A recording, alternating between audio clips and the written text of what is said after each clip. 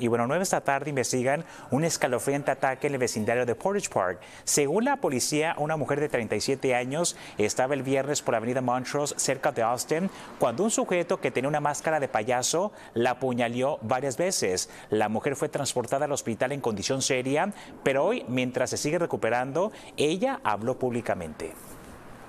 He started just coming at me and he started stabbing me in my legs. I moved my arm.